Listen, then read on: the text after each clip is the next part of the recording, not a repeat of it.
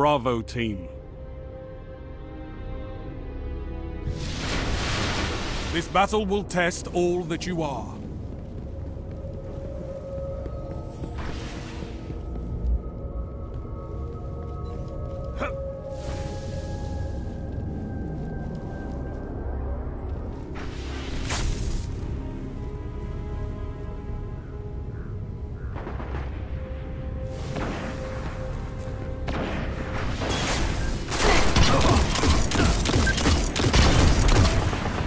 We're in the lead.